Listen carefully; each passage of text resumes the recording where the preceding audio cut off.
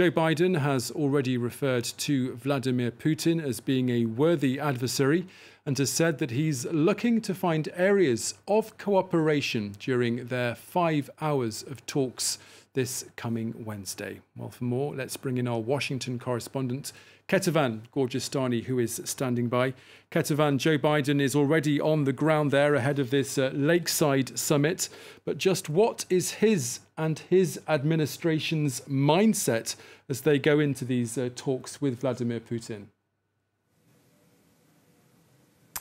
Well, uh, the, the biggest one is uh, definitely to turn the page on what happened under the previous president, uh, Donald Trump, uh, reminding uh, everyone of what happened between Donald Trump and Vladimir Putin when the US president infamously said that he uh, trusted Vladimir Putin more than his own intelligence community. So Joe Biden and the, the White House and the whole Biden administration really want to show that the US will stand up to Russia when it has to uh, stand up. But as you mentioned, uh, also that they're ready to cooperate in areas uh, where they can agree. But really, uh, Joe Biden uh, wants to show Vladimir Putin uh, that he will be tough on Russia when that is needed. And one of the elements that he's bringing from the previous stops that he made in Cornwall and in Brussels to show Vladimir Putin is that he has the support of the U.S. allies, especially the European Europeans that he uh, has spoken to most of uh, these uh, leaders and that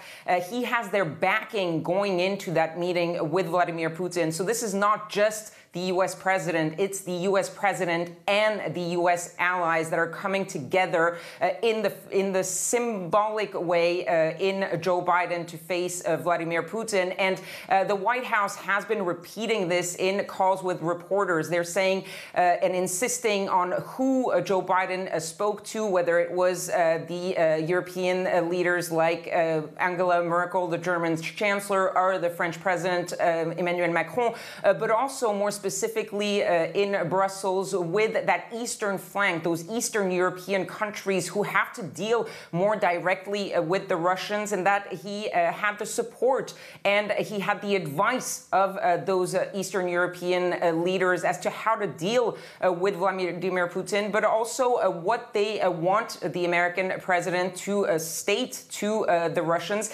and show really that the Western allies are united together and that they will stand up to Russia when they have to.